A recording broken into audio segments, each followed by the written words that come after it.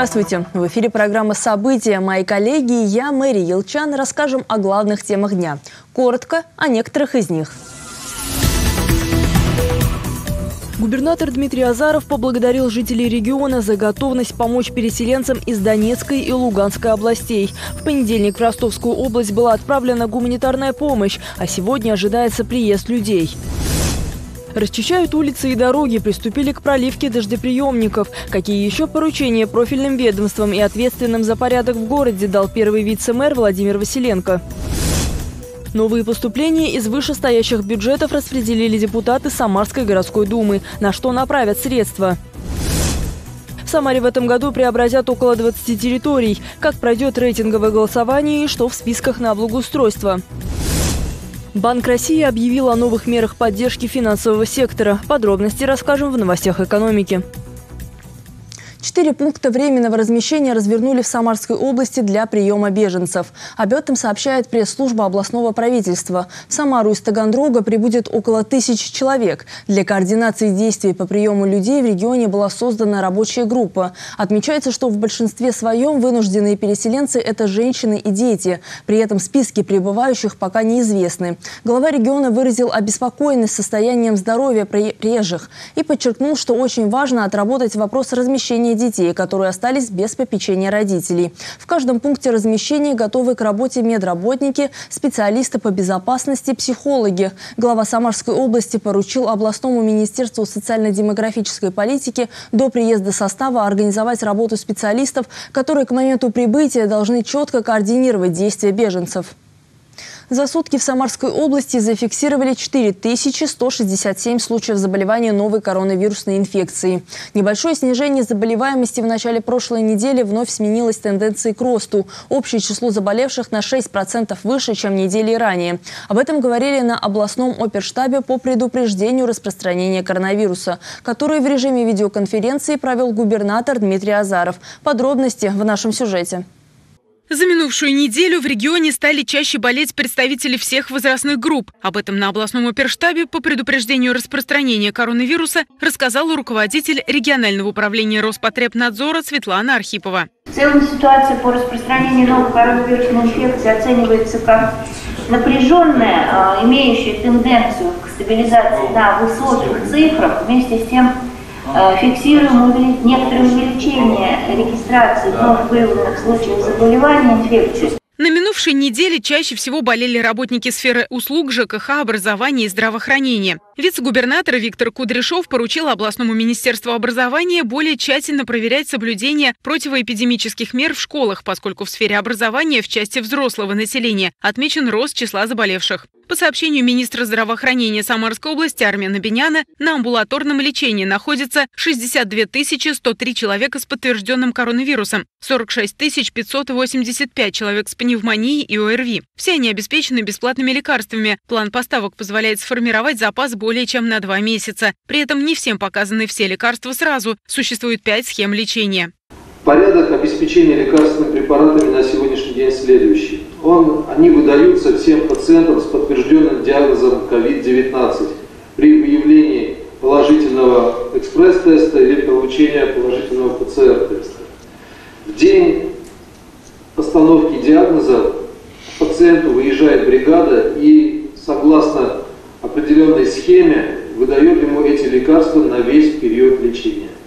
По словам министра здравоохранения, омикрон совсем не безобидный штамм. Он бьет туда, где хрупко. Амбулаторное звено работает в напряженном режиме с 7 утра и до последнего пациента. Что касается детей, то госпитальный фонд сейчас свободен на 50%. За две недели число подростков, которым требуется лечение в стационарах, снизилось на 34%. Среднее число обращений в день по поводу COVID-19 и ОРВИ уменьшилось на 41%. Нагрузку на первичное звено снижает возможность дистанционно оформить больничный лист. Таких обращений поступило более 14 тысяч, и в 85% случаев больничные открывали после дистанционной консультации. Также министр разъяснил вопрос получения QR-кода при наличии антител. Такой QR-код выдается жителю региона, ранее официально не болевшему. Чтобы его получить, нужно сдать анализ на антитела в любой медицинской лаборатории. Она выгрузит результаты в федеральную систему, откуда их направит на портал госуслуг. При этом важен факт наличия антител. Требования к их количеству не устанавливаются. Такой порядок действует с 21 февраля. QR-код выдается на полгода. Виктория Шара события. Последние всплески заболеваемости COVID-19 показали, что дети тоже стали болеть тяжелее. Немало случаев, когда ребенок оказывается на ИВЛ. Как дети переносят вирус и какие могут быть последствия, расскажет Мария Левина. Температура под 40, кашель, проблемы с кишечником – уже знакомые симптомы не до конца изученной болезни. Новый штамм коронавируса омикрон известен не только быстрой скоростью распространения, но и большим количеством заболевших детей. Предыдущий штамм несовершеннолетние переносили гораздо легче. Теперь коронавирус протекает у подростков как сложный грипп. Пик заболеваемости среди детей пришелся на конец января, начало февраля. Тогда в детской инфекционной больнице Самары наблюдались порядка 150 человек. Сейчас заболеваемость падает, но последствия остаются. Самые частые – это заболевания сердца и нервной системы есть так называемые постковидные осложнения. И при любой форме ковида те или иные осложнения мы сталкиваемся, в том числе и у детей. Так же, как и при гриппе. Это поражение может быть сердечной мышцы в виде миокардитов. Это поражение желудочно-кишечного тракта, это может быть поражение центральной нервной системы. Самое действенное оружие против ковида, а значит и последствия перенесенного заболевания – вакцинация. С начала этого года ее начали проводить среди несовершеннолетних. В Самару поступило около 2000 доз вакцины. Сейчас мы имеем где-то уже около 500 человек, которые вакцинированы. А, принцип абсолютной добровольности, то есть заявительный характер – должно быть обязательно заявление от одного из родителей закона представителя и согласие, которое может быть оформлено как родителям, если ребенку еще нет 15 лет, так и самим несовершеннолетним, если ему уже исполнилось 15 лет. Вакцины переносятся хорошо, ни одного пока, э, я надеюсь, в последующем э, побочной реакции мы не зарегистрировали. А, ну а э, как она подействует, так, так же, как вся вакцинация, да, то есть это позволит снизить заболеваемость, тем более видим, что у нас детки, к сожалению, тоже завлекают свой випид-процесс. Чтобы обезопасить себя и своего ребенка от опасного вируса, нужно проводить профилактику, заботиться о чистоте рук, использовать маски и избегать мест скопления людей. Мария Левина, Николай Епифанов. События. Далее в эфире рубрика «Новости экономики». Светлана Кудрявцева уже в студии. Здравствуйте, Светлана. Здравствуйте, мэрия и уважаемые телезрители. Центробанк России сообщил о мерах поддержки финансового сектора. О чем идет речь? До 1 октября банки при расчете обязательных нормативов будут использовать курс валют на 18 февраля. Но сначала поговорим об инфляции. Банк России рассчитывает, что к середине следующего года инфляция в России вернется к целевому уровню в 4%. Об этом, выступая в Госдуме, заявил зампред регулятора Алексей Заботкин. Он признал, что сейчас в части прогнозов сохраняется высокая неопределенность, связанная в том числе с геополитической ситуацией. Именно этим объясняется диапазон прогноза в 1% пункт. Между тем, в докладе о денежно-кредитной политике, который опубликовали ранее, Центробанк отмечал, что ожидает замедления годовой инфляции в России до 8,5% в первом квартале этого года. Тем временем Банк России объявил о новых мерах поддержки финансового сектора. Так, до 1 октября банкам при расчете обязательных нормативов нужно будет использовать курс валют на 18 февраля этого года. Кроме того, в целях адаптации сектора к возросшей волатильности, финансовые организации до этого же срока получили право отражать в отчетности акции и облигации по рыночной стоимости на 18 февраля 2022 года. Регулятор подчеркнул, что держит на контроле развитие ситуации на финансовом рынке и готов принять все необходимые меры для поддержания стабильности. Ну а дело в том, что на российской бирже произошел крупнейший обвал с 2008 года. Рубль обогнал турецкую лиру по показателю вмененной волатильности. Он отображает, как рынок оценивает будущее колебания курса. Теперь наша валюта считается самой нестабильной в мире, хотя рейтинг не учитывает белорусский рубль и украинскую гривну, которые тоже хорошо потрясло. Вечером 21 февраля на фоне геополитических потрясений индекс Мосбиржи упал на 14,2% и следом за ним полетели самые ликвидные устойчивые акции российских компаний. Это крупнейший обвал за последние 14 лет. Доллар и евро на новостях о Донбассе показали колоссальный рост. Официальный курс доллара 80 рублей 42 копейки. Американская валюта подскочила сразу на 3 рубля и 65 копеек. Евро 90 рублей 88 копеек. Европейская валюта прибавила за сутки 3 рубля и 54 копейки. Нефть марки Brent почти подошла к отметке в 100 долларов. 99 долларов и 14 центов за баррель. На этом пока все. Оставайтесь с нами и будьте в курсе. Почти на 4 миллиарда рублей пополнилась казна Самары. На что будут направлены эти средства, обсуждали депутаты Самарской думы на очередном заседании. В основном деньги будут направлены на сферы образования, культуры и ЖКХ. Подробнее в нашем сюжете. 2 миллиарда 728 миллионов пополнит казну Самары. Эти средства будут перечислены из вышестоящих бюджетов. Деньги будут направлены в основном на сферы образования и культуры, а именно на доступ горожан к бесплатному образованию, на поддержку классных руководителей, на выплаты педагогам дошкольных организаций, на модернизацию библиотек, музеев и детских театров. Средства вышестоящих бюджетов учитываются в том числе на организацию образовательного процесса, поддержку детских школ искусств, детских кукольных театров – музеев и библиотек. Кроме того, увеличился и план по собственным налоговым и неналоговым поступлениям на 95 миллионов рублей. За счет этих средств планируется купить квартиры для переселения граждан из аварийного жилищного фонда. Хотя беспрецедентные в этом году цифры, количество э, самарцев, которые будут переселены, вы знаете, 3,5 тысячи человек. Но есть, есть и определенные трудности, которые мы осознаем. Это нужно найти это еще жилье чтобы оно соответствовало тем федеральным нормам и требованиям по квадратному метру. Также в бюджет добавляются и средства, которые остались с прошлого года. Это 1 миллиард рублей. Они будут распределены по самым разным статьям расходов. Например, на содержание автомобильных дорог, капитальный ремонт образовательных учреждений, проведение ремонта и строительство объектов физкультуры и спорта, исполнение указов президента. В итоге, учитывая все поступления, доходы бюджета города на 2022 год составляют 26 миллиардов 358 миллионов рублей, а расходы – 27 миллиардов 366 миллионов рублей. Андрей Горгуленко, Константин Головин. События.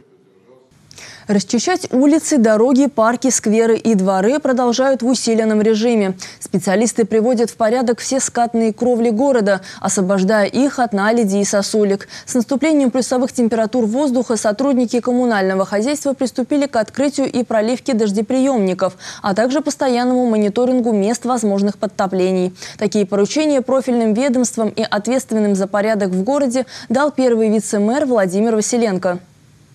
В случае подтопления э, работают 9 э, бригад в день, 5-6 бригад в ночь по откачке с низких мест талых вод. Ситуацию постоянно мониторим, дабы не допустить подтоплений. Также работу ведем по тротуарам. Сейчас неблагоприятная температура, когда идет переход с нуля на минус. Подтаяло, обледенело, поэтому работа также подрядчикам ставим задачу, контролируем. Несмотря на временное отсутствие обильных осадков в виде снега, работы по расчистке улиц от снежных накоплений ведут в круглосуточном режиме. Только за минувшие сутки с улиц областного центра вывезли 6,5 тысяч тонн снега. Продолжаются работы и по расширению проезжих частей. Для того, чтобы минимизировать последствия перепада температур в ночные и дневные часы, специалисты коммунальных служб обрабатывают объекты улично-дорожной сети и пешеходные дорожки противогололедными реагентами. Добиться своевременного ремонта. Порой управляющие компании деньги жильцов собирают, но при этом не выполняют своих обязанностей. К примеру, в железнодорожном районе Самары более 50% жилого фонда нуждается в обновлении. Но решать проблему в УК не спешат. На совместной встрече жителей с представителями управляющей компании побывала Елена Чернявская и готова поделиться подробностями. Хоть раз здесь сделали ремонт? Ни разу вы здесь не делали. Крыльцо, вы говорите, сделали. Это бабки скидывались. Пол в подъезде жилого дома номер два по улице Семафорной сложно назвать образцовым. Передвигаться по нему как минимум опасно. Лестницы в подъезде разрушаются, стекла выбиты, крыша течет. Почтовые ящики давно пришли в негодность. Здесь длительное время не проводился текущий ремонт. Такая же ситуация и в соседних домах. Дворник не убирает, в наш подъезд не зайдешь, там такая наледь, и на, над крышей висит такой козырек за льда. э, пробегаем, просто пробегаем, чтобы нас не сшибло. И вторая у нас вход в подвал у нас осыпается. Не просто осыпается, там все осыпалось уже, камни, дверь не открывается. И если вдруг какая-то авария или еще что-то, да там вообще может просто упасть стена.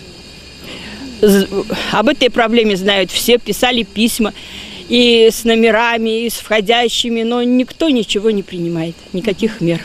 Управляющая компания взяла на обслуживание эти дома в декабре 2021 года, но проблемы решать не спешит. Жители поняли, нужно встречаться с директором лично, чтобы озвучить наболевшие вопросы. Новая Самара пришла. Во-первых, э, она работает с декабря месяца. Но пока документы, пока праздники, пока отчеты, это все понятно. Мы не могли толком найти их сначала. Результата никакого нет. И начинаем мы начальству бомбить для того, чтобы пришел хотя бы дворник, что-то убрал. Скорая не сможет подъехать. Сейчас будем просить эту управляющую компанию, чтобы на крыше хотя бы коньки поменяли, стыки вот эти вот крыши, Потому что живет в моем доме бабуля 89 лет. В наше время с тазиками она ходит. Это куда дело годится?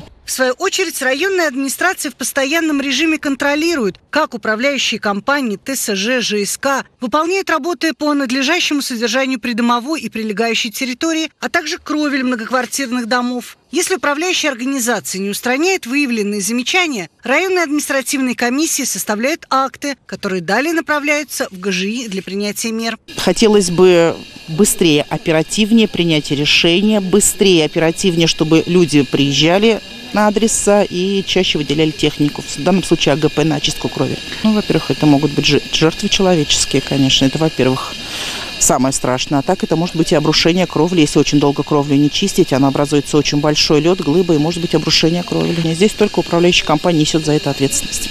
И опасения жителей оправданы. Во время видеоконференции с жителями в феврале 2022 года губернатор Дмитрий Азаров подчеркнул, что собственники вправе требовать от УК качественного и своевременного обслуживания многоквартирного дома, так как жители оплачивают коммунальные услуги. Отметим, что все недобросовестные управляющие компании будут лишаться лицензии на право обслуживания многоквартирных домов. Елена Чернявская, Николай Сидоров. События. Самаре пятый год благоустраивают общественные пространства в рамках нацпроекта «Жилье и городская среда». Так, например, только в центральном районе города Октябрьском за прошедшие пять лет обновили больше четырех территорий. От крупных, таких как сквер Фадеева, до небольших бульвар на улице Осипенко. В этом году самарцам также предстоит выбрать пространство под благоустройство в ходе рейтингового голосования. В преддверии его в администрации Октябрьского района Самары прошло обсуждение с представителями общественности. Подробности расскажет Михаил Ермоленко.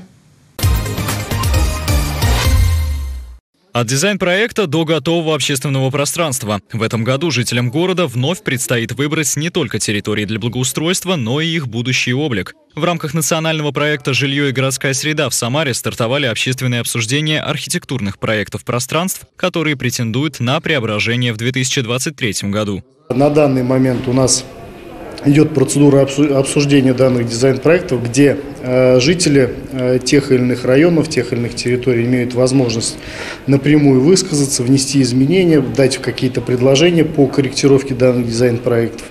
По данным специалистов профильного департамента, сейчас в Самаре нуждаются в благоустройстве порядка 87 общественных пространств. Из них самарцы отобрали 20. Дизайн-проекты выдвинут на голосование после общественного обсуждения и учета пожеланий жителей. В Октябрьском районе пять проектов кандидатов. Общественное обсуждение прошло в районной администрации. К этому вопросу большое внимание уделяется. Ну, соответственно, для этого мы здесь собрались, чтобы учесть все э, пожелания и мнения жителей при формировании итоговых э, дизайн-проектов этих территорий, ну, чтобы наибольшее количество людей удовлетворить итоговым результатом после их благоустройства. В числе рассматриваемых дизайн-проектов небольшой сквер, расположенный между 22 и 24 домами по улице Новосадовая. На фасаде одного из них еще осенью появился новый мурал. Жителям очень понравилась эта идея, и уже, получается, на фоне вот этого мурала, да, этого фасада дома, этот сквер вообще абсолютно потерялся. Не хватает освещения, не хватает э, хороших э, тротуарных дорожек, и очень важно, надо сделать водоотведение, потому что вода скапливается, этот сквер превращается просто в аквариум. Все пожелания самарцев будут приниматься до 28 февраля. После корректировки дизайн-проектов жителей города ждет голосование, на котором из топ-20 выберут первоочередной список общественных пространств, которые будут благоустроены уже в 2023 году. Отдать свой голос за выбранный проект можно будет на платформе 63.городсреда.ру через госуслуги и виджет «Мой выбор, мое будущее» на сайтах администрации Самары и внутригородских районов. Михаил Ермоленко, Григорий Плешаков. События. Преддверии масленичных гуляний администрация города проводит творческий конкурс на изготовление главного символа праздника – маслены. Жюри отберет лучшие работы, которые будут выставлены на площади Куйбышева. Воспитанники детского сада 407 тоже решили принять участие в конкурсе и изготовили свою куклу. Секреты мастерства выяснил Максим Магомедов. Последние штрихи и недельная работа завершена. Воспитанники 9 группы 407-го детского сада сделали маслену. Уже второй год подряд они выбирают направление эко-кукла. По условиям конкурса она должна быть полностью выполнена из натуральных материалов. Каркас из березовых черенков. Основанием послужила лыка, обшитая хлопковой тканью. Наряд куклы соткан из льна, а голову украшает шерстяной платок, которому уже более 100 лет. Его принесла одна из сотрудниц детского учреждения. Родители не остались в стороне. Кто-то принес ткань, кто-то бусы, а некоторые отцы вместе со своими сыновьями помогали скреплять каркас. Украшали маслену девочки совместно с воспитателем 9 группы Ранией Жуковой. Она работает в саду уже 11 лет, рассказывает, сюда водила и своих детей. Говорит, удовлетворена результатами своей работы. Дети, они включаются моментально, у них такое удовольствие все это делать. Но дети, они вообще всегда благодарны. Им что ни предложи, они всегда все э, хотят сделать. Ну, как бы поэтому, а тем более, если это э, делается что-то невероятное, да, причем что можно же и намусорить лыка-то оно сыпется, и когда получается из какой-то кучи, получается, ну, такая вот все-таки, да, красота, ну, конечно же, дети очень включаются, они очень такие прям активные всегда. Во время подготовки к таким конкурсам дети знакомятся с народной культурой и традициями. У них появляется возможность освоить новые приемы и технику народно-прикладного творчества. Нужно не забывать в детях формировать различные чувства, и патриотическое чувство, как бы э, ответственности за свою страну, понимание своей страны и народа, к которым ты принадлежишь, очень важно иметь значение. Э, ну, естественно, дети под руководством умелого воспитателя зажигается эта идея, и им это очень нравится. Сделать свою масленую и принять участие в конкурсе может любой желающий. Для этого необходимо заполнить анкету и отправить несколько фотографий работы на электронную почту организаторов. Высота куклы должна быть не менее полуметра. При изготовлении допускается применение любых материалов, но стоит учесть тот факт, что выставка будет проходить под открытым небом. Заявки принимаются до 1 марта. По итогам конкурса жюри, в которое входят художники, ведущие специалисты в сфере прикладного творчества и декорирования, педагоги дополнительного образования и представители администрации Самары, определят победителей и призеров каждой номинации. Лучшие арт-объекты планируется разместить на итоговой выставке 5 и 6 марта на площади Куйбышева. Максим Магомедов, Григорий Плешаков. События.